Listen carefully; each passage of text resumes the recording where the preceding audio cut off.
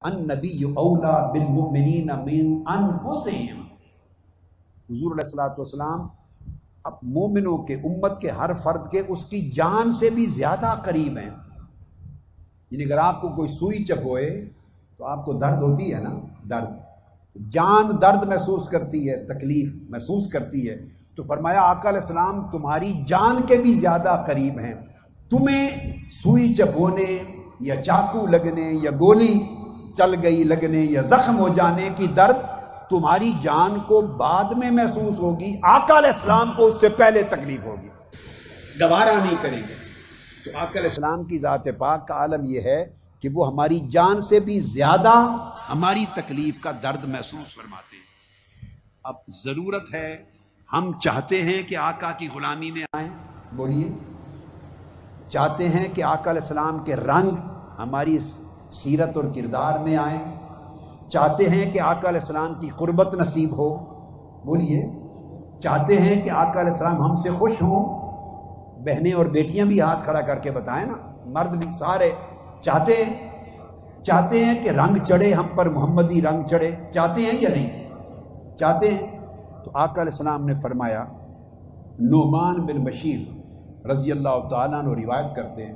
فرمایا کہ اگر محمدی رنگ چڑھانا چاہتے ہو، تو شرط یہ ہے کہ مسلمان۔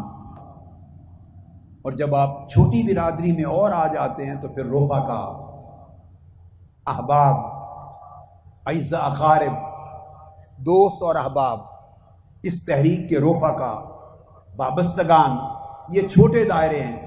آقا علیہ السلام جب بات کریں گے تو حضور کا قبیلہ تو پوری امت ہے، پھر پوری انسانیت ہے، پھر پوری کائنات ہے۔ تو آقا علیہ السلام کی بھی سطح ہیں، دائرے ہیں۔ تو آقا علیہ السلام نے امت کے لیے فرمایا، مثل المؤمنین فی تبادہم و تراہمہم کمثل الجسد الواحد۔ مسلمان کی تعریف یہ ہے، مسلمان کی، کہ جو مسلمان ہیں، وہ ایک دوسرے کے ساتھ محبت کرتے ہیں۔ اور اب یہ اصول کم سے کم رفقا اپنائیں، متقفین اپنائیں۔ اراکین اور وابستگان اپنائیں، اس مشن سے، تحریک سے تعلق رکھنے والے اپنائیں۔ اپنے دوست احباب آپ کے وہ اپنائیں، جو تعلق رکھتے ہیں دنیا میں آپ کے ساتھ، وہ اپنائیں۔ ان سب دائروں پر اس اصول کا اطلاق کرتے چلے جائیں، حتیٰ کہ سارے پاکستانی اپنائیں، پھر پوری امت مسلمہ کے افراد اپنائیں۔ ایک دائرے سے شروع کریں، پھر بڑھاتے چلے جائیں۔ جب ایک دائرے میں آپ پختہ ہو جائیں، حق ادا کر لیں، پھر دائرہ آگے بڑھائیں، پھر اور بڑھائیں، پھر اور بڑھائیں۔